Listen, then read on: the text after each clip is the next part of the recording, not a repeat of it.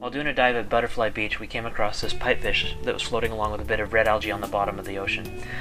Uh, this video was taken, as you can see, at night, and we are relatively shallow, probably only about 15 feet, and out over the sandy areas. Now, I really like finding pipefish because it's not a fish that you normally see. Um, one, because they're very good at camouflage. This one just happened to be along a little tiny patch of algae and was easy to spot. But normally they're they're a little more hidden than this.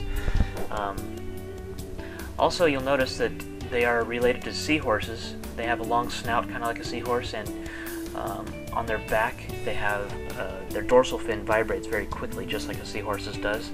Also, at the very tip of their tail, they have kind of a fan-shaped paddle-like fin. Um, it's kind of sets them apart, helps you to know that it's a pipefish and not something else like a tube snout or something.